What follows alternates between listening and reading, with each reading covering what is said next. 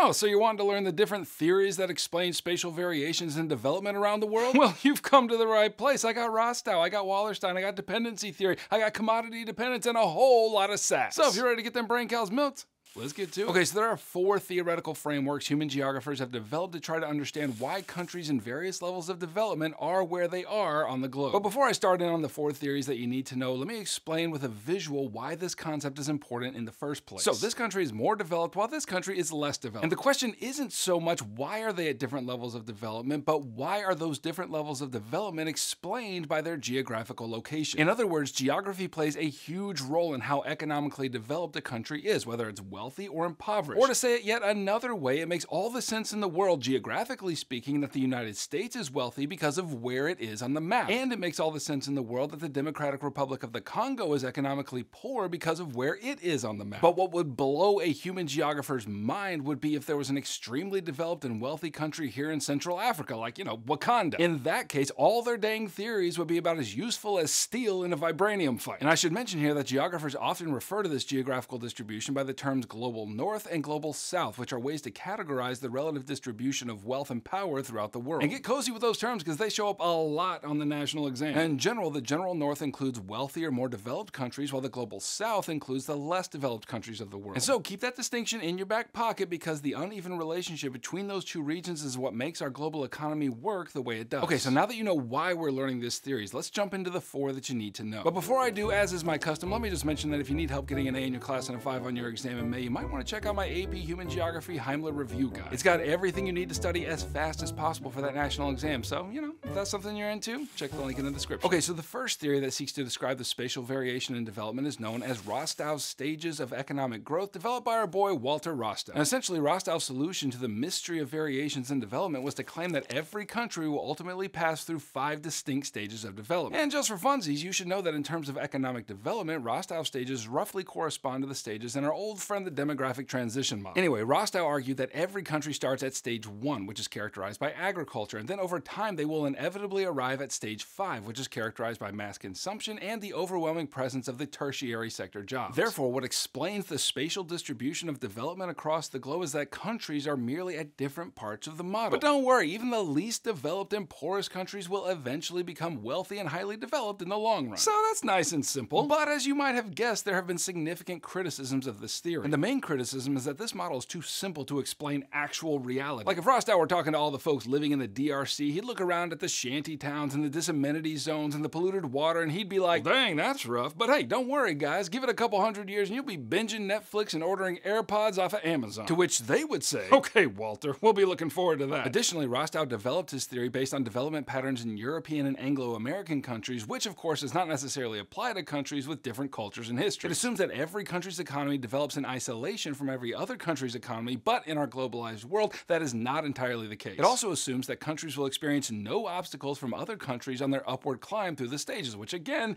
not realistic. But then came along a second theory of development that sought to address the shortcomings of Rostow, and it's known as dependency theory. Now, basically, it argues that peripheral countries are not poor by any fault of their own, but because of the persistence of exploitative economic practices carried out by core countries, and this is what we also call neocolonialism. In other words, for many peripheral countries with colonial past, their economic relationship with their imperial country left them severely disadvantaged in the era of their independence. Okay, says you, but the colonial era ended a long time ago. Surely those former colonies aren't still dealing with the effects of that stanky arrangement. Well, says dependency theory, they are, and that's because our world economy has developed a hierarchical and very specific division of labor. we've talked about this before when we considered economic sectors. Countries in the periphery tend to focus their economic output in terms of extraction of natural resources and manufacturing goods. And that's their part of the division of labor. And then core countries tend to focus their economic activity in service work and mass consumption. And this is a delicate balance. Like if one part of the global economy doesn't play its part, then the whole thing goes wonky in a hurry. So according to dependency theory, the reason why differing levels of development exist is precisely because of the international division of labor. In order for core countries to remain at the top of the economic heap, peripheral countries are required to remain at the bottom. In other words, and this is the key point to remember, in order for core countries to be successful economically, they need to exploit peripheral countries countries and peripheral countries actually can't survive without submitting to that exploitation. And so in this way, dependency theory is better than Rostow because it recognizes the interconnectedness of the world's various economies. Okay, the third theory is known as Wallerstein's world systems theory, and it argues that the world has progressed through several stages of socioeconomic systems, and that today the world has arrived at the stage of an interconnected capitalistic economic system which plays out in nation-state economies. And I'm gonna go ahead and guess you didn't understand much of that, so let me explain it up real nice. So the first thing to notice is that Wallerstein, like dependency theory, assumes a global interconnectedness between countries, which is the way the world actually works. Okay, so this theory explains the uneven distribution of development of the world based on core peripheral and semi-peripheral categories, which I talked about in a previous video. Anyway, Wallerstein argued that the reason core countries are the most developed is because they were the earliest adopters of industrialization. Like they're the ones who started the race first. And as you know by now, core countries have access to the best technology, the most complex manufacturing processes, and societies characterized by mass consumption. And according to this theory, core countries aren't special, they just started industrializing earlier and thus have progressed further. So included in this category would be countries in Western Europe and North America and Japan and Australia. And then peripheral countries like those in sub-Saharan Africa are the least developed because they are late adopters of industrialization. But if you're paying attention, you probably just grew a question mark over your head. Doesn't that sound exactly like Rostow's theory? Like every country is just progressing through stages of development and some are further along because they started earlier? Excellent observation, my dear pupil, but here's where Wallerstein takes his explanation further. You see, according to world systems theory, peripheral countries are the least developed because they are late adopters of industrialization, but there is a very significant reason for that. And unless you've just been asleep for this entire course, you're probably gonna know what that reason is. Imperialism? Yep,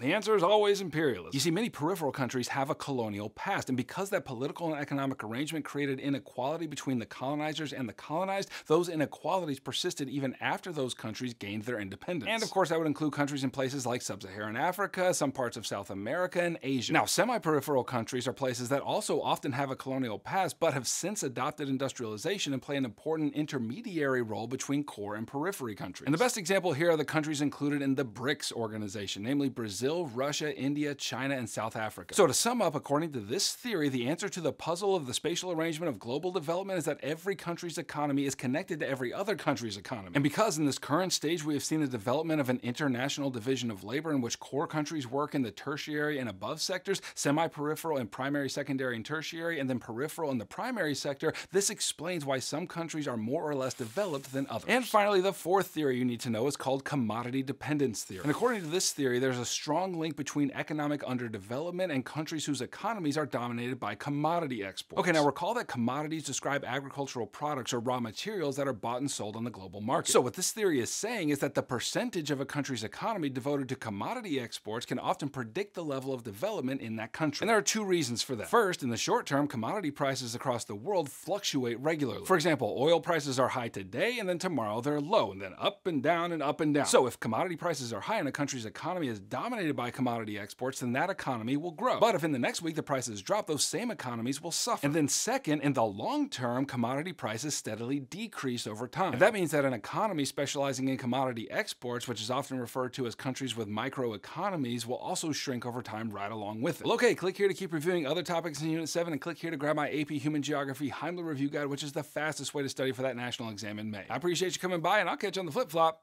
Heimler out.